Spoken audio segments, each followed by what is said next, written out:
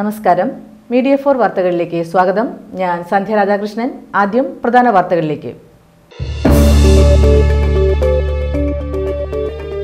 ചേർപ്പ് പഞ്ചായത്തിലെ പതിനെട്ടാം ward ഹെഡ്ബർട്ട് canal ചെറുചേനം പ്രദേശങ്ങളിൽ ഒന്നര മാസത്തോളമായി കുടിവെള്ളം കിട്ടുന്നില്ല എന്ന് പരാതി.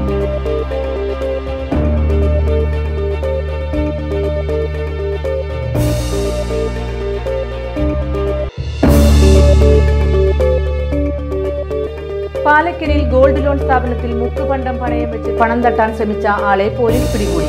പുത്തൂർ കൈനൂർ ചിറയത്ത് സിജോ സേവിയറിനെയാണ് പോലീസ് പിടികൂടിയത്.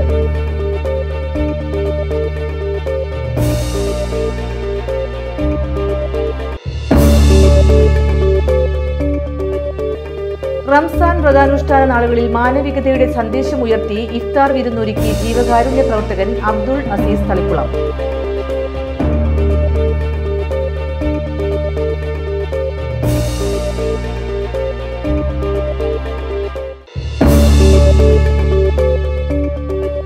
തൃശൂർ കോർപ്പറേഷൻ ഓഫീസിൽ ജീവനക്കാരനെ തൂങ്ങി മരിച്ച നിലയിൽ കണ്ടെത്തി. ആരോഗ്യ വിഭാഗത്തിലെ താൽക്കാലിക ഡ്രൈവറായ അരിമ്പൂർ കുന്നത്തങ്ങാടി സ്വദേശി സതീഷാണ് മരിച്ചത്.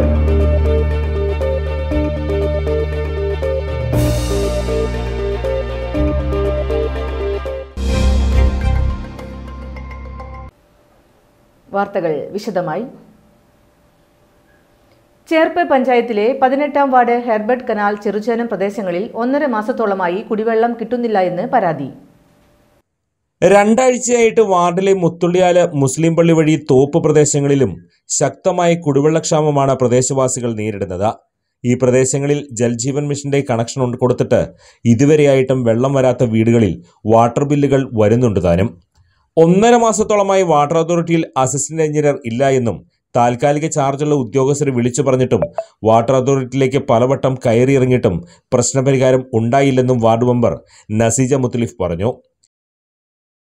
ഇവിടെ ഒരു ഏകദേശം ഒന്നര മാസക്കാലമായിട്ട് വാട്ടർ അതോറിറ്റിയുടെ ഭാഗത്തുനിന്ന് വെള്ളം കൃത്യമായി ലഭിക്കാത്തതുണ്ട് ആഴ്ചയിൽ മൂന്ന് ദിവസമാണ് ആ വാർഡിന്റെ പ്രദേശത്തേക്ക് വെള്ളം വരാറ്.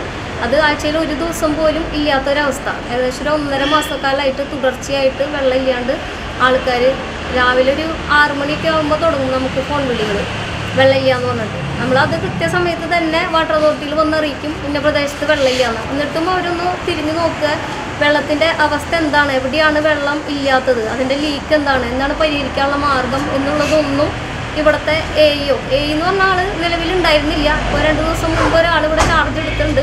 അതും നമ്മുടെ ഈ വാട്ടർ അതോറിറ്റിയിലത്തെ എല്ലാ താൽക്കാലിക ചുമതലക്കാരനാണെന്നാണ് പറയുന്നത്. രണ്ട് മാസമായിട്ട് വെള്ളം വരാത്ത ഒരു വീട്ടിൽ ആയിരത്തി എണ്ണൂറ്റി എഴുപത്തിരണ്ട് രൂപയുടെ ഒരു ബില്ല് കൊടുത്തിട്ടുണ്ട് വാട്ടർ അതോറിറ്റിയുടെ അതൊക്കെ അവിടെ നമ്മൾ കാണിച്ചു കൊടുക്കുമ്പോൾ ഇവർ ഉദ്യോഗസ്ഥരാണ്. അവർക്ക് ഈ കുപ്പിവെള്ളം ഉപയോഗിക്കുന്നതിന്റെയോ അതല്ലെങ്കിൽ ആളുകൾ തലയിൽ വെള്ളം ചോന്ന് ഏകദേശം ഒരു ഒന്നര കിലോമീറ്റർ ഒക്കെ കൊണ്ടുവരുന്നതിന്റെ ഒരു ബുദ്ധിമുട്ട് അവർക്കറിയില്ല. അത് അനുഭവിക്കുന്ന ആൾക്കാർക്ക് അതറിയുള്ളൂ. അപ്പോൾ അവർ ഒന്ന് രണ്ട് മുടം തന്നെ ഞങ്ങൾ പറഞ്ഞ് ഞങ്ങൾ നോക്കാം.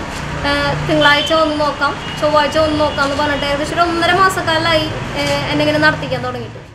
ആഴ്ചയിൽ മൂന്ന് ദിവസമായിരുന്നു വെള്ളം വന്നിരുന്നത്. എന്നാൽ ഒന്നര മാസക്കാലമായി ഒരു ദിവസം പോലും വെള്ളം വരാത്ത അവസ്ഥയാണ്. ഇതുമൂലം പ്രദേശവാസികൾ കടുത്ത കുടിവെള്ളക്ഷാമമാണ് നേരിടുന്നത്. ഇതിൽ അടിയന്തരമായി നടപടിയെടുക്കണമെന്ന് വാർഡ് മെമ്പർ പറഞ്ഞു. ഇല്ലാത്ത പക്ഷം ശക്തമായ സമര നടപടികളുമായി മുന്നോട്ടു പോകുമെന്നും വാട്ടർ അതോറിറ്റി ഓഫീസിന് മുന്നിൽ കുത്തിയിരിപ്പ് സമരം ചെയ്യുമെന്നും നസീജ പറഞ്ഞു. ഇത്ര നാളായിട്ടും പരിഹാരം ഇല്ലാത്ത സ്ഥിതിക്ക് തിങ്കളാഴ്ച മുതൽ ഞാൻ ഉദ്ദേശിച്ചേക്കുന്നത് എന്തായാലും ഞാൻ വാട്ടർ അതോറിറ്റിയുടെ മുന്നിൽ ഇരിക്കാനാണ് ഉദ്ദേശിച്ചേക്കുന്നത് വാട്ടർ അതോറിറ്റിയിൽ ഇപ്പം നിരാഹാരം കിടന്നിട്ടായാലും ആ പ്രദേശത്തുള്ള ആളുകൾക്ക് വെള്ളം കിട്ടണം. അതിന് വാട്ടർ അതോറിറ്റിക്ക് എന്താണ് ചെയ്യാൻ പറ്റുക എന്നുള്ളതനുസരിച്ച് ചെയ്യും. അതുമാത്രമാണ് ഇന്നും ഞങ്ങൾ പരാതി കൊടുത്തിട്ടുണ്ട് ഡി വൈഫൈയുടെ ഭാഗത്തു നിന്ന് പരാതി കൊടുത്തിട്ടുണ്ട്. എന്തായാലും വെള്ളമില്ലെങ്കിൽ ആളുകളെ കൊണ്ടുവന്ന് വെള്ളം കിട്ടുന്ന ഒരു സമയം വരെ ഞങ്ങൾ പ്രതിഷേധിക്കും. പാലക്കലിൽ ഗോൾഡ് ലോൺ സ്ഥാപനത്തിൽ മുക്കുപണ്ടം പണയം വെച്ച് പണം തട്ടാൻ ശ്രമിച്ച ആളെ പോലീസ് പിടികൂടി. പുത്തൂർ കൈനൂർ ചിറയത്ത് സിജോ സേവിയറിനെയാണ് പോലീസ് പിടികൂടിയത്. പാലക്കൽ ഐശ്വര്യ ഗോൾഡ് ലോണിൽ മുപ്പത്തിമൂന്ന് ഗ്രാം തൂക്കം വരുന്ന വ്യാജ സ്വർണമാല പണയം വെച്ച് പണം വാങ്ങാൻ ശ്രമിച്ചപ്പോൾ സംശയം തോന്നി. പരിശോധിച്ചതിനാൽ മാല സ്വർണമല്ല എന്ന് മനസ്സിലാക്കി ചെറുപ്പ് പോലീസ് സ്റ്റേഷനിൽ അറിയിക്കുകയായിരുന്നു. പ്രതി സമാന രീതിയിലുള്ള തട്ടിപ്പുകൾ നടത്തിയിട്ടുണ്ടോ എന്ന് പോലീസ് അന്വേഷിച്ചു വരുന്നു.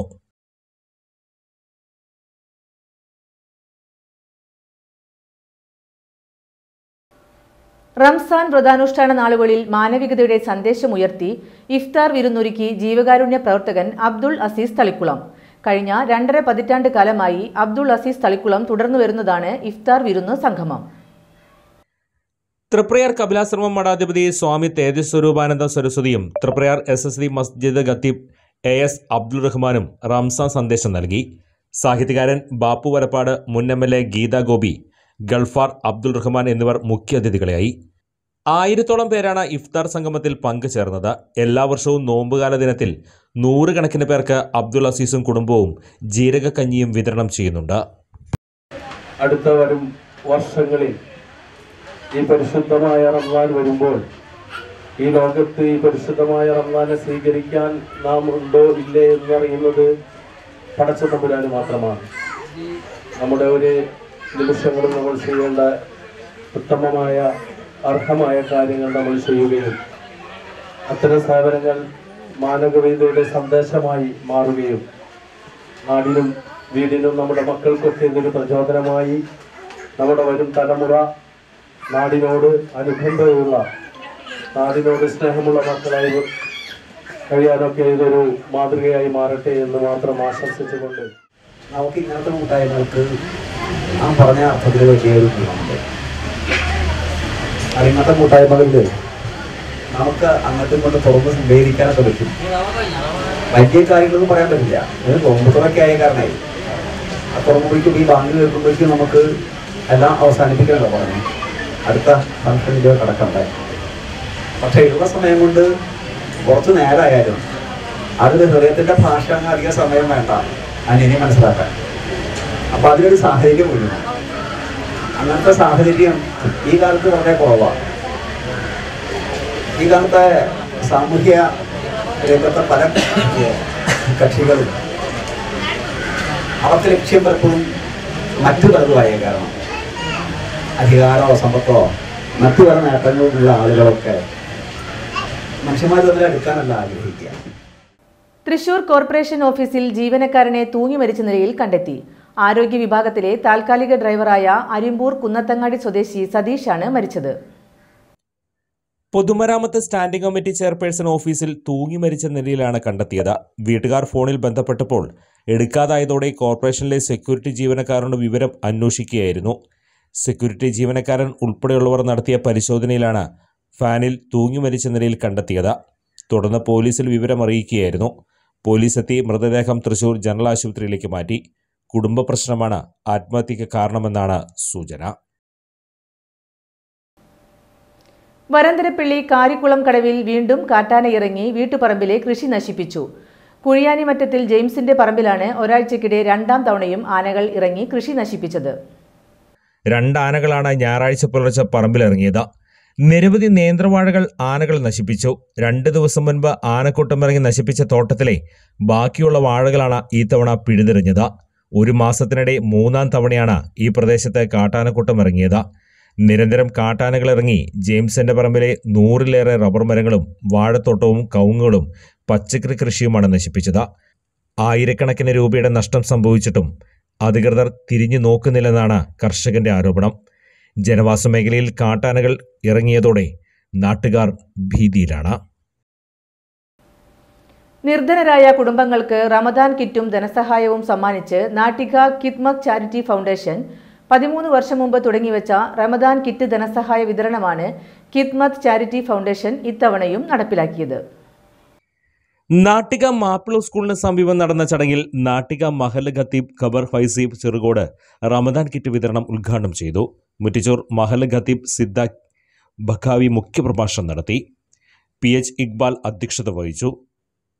Charity foundation general secretary Salim P Hameed ആമുഖ പ്രഭാഷണം നടത്തി.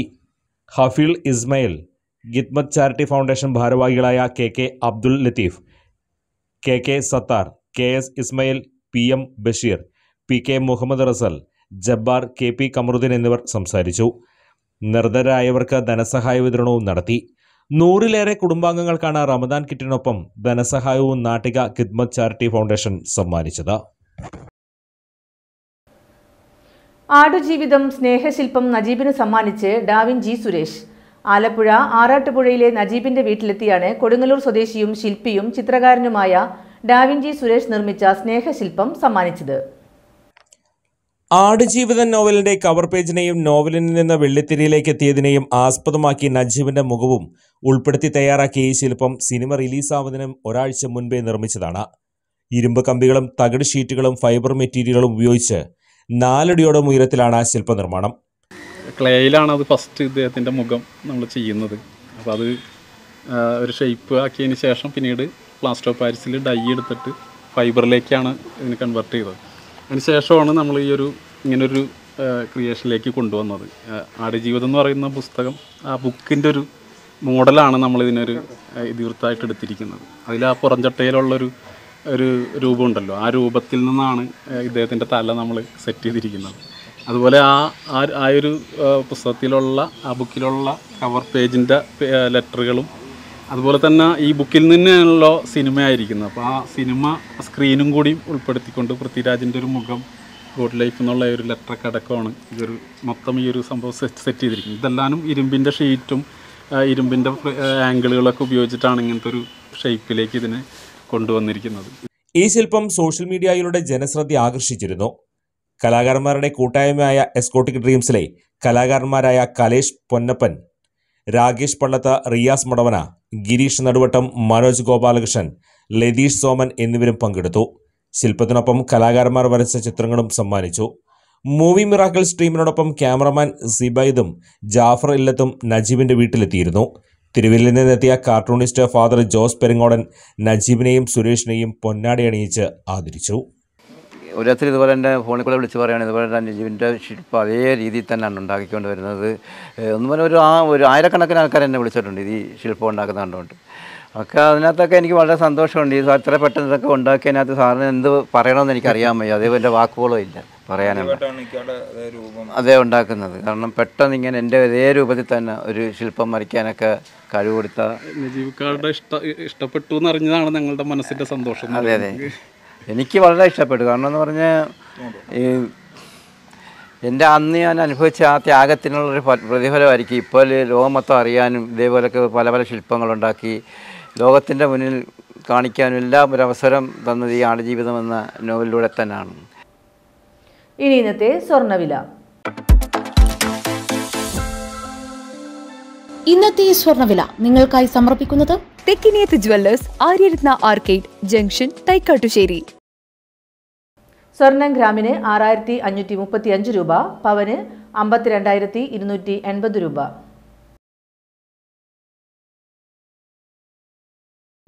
പ്രധാന വാർത്തകൾ വീണ്ടും.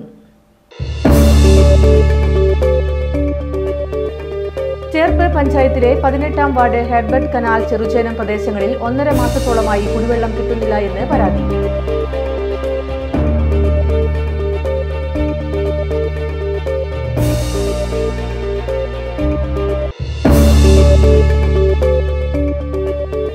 പാലക്കലിൽ ഗോൾഡ് ലോൺ സ്ഥാപനത്തിൽ മുക്കുപണ്ടം പണയം വെച്ച് പണം തട്ടാൻ ശ്രമിച്ച ആളെ പോലീസ് പിടികൂടി. പുത്തൂർ കൈനൂർ ചിറയത്ത് സിജോ സേവിയറിനെയാണ് പോലീസ് പിടികൂടിയത്.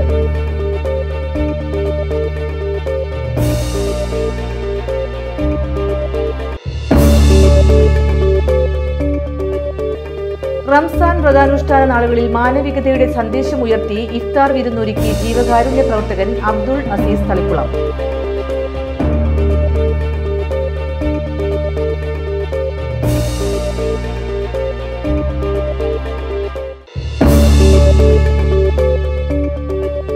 തൃശൂർ കോർപ്പറേഷൻ ഓഫീസിൽ ജീവനക്കാരനെ തൂങ്ങി മരിച്ച നിലയിൽ കണ്ടെത്തി. ആരോഗ്യ വിഭാഗത്തിലെ താൽക്കാലിക ഡ്രൈവറായ അരിമ്പൂർ കുന്നത്തങ്ങാടി സ്വദേശി സതീഷാണ് മരിച്ചത്.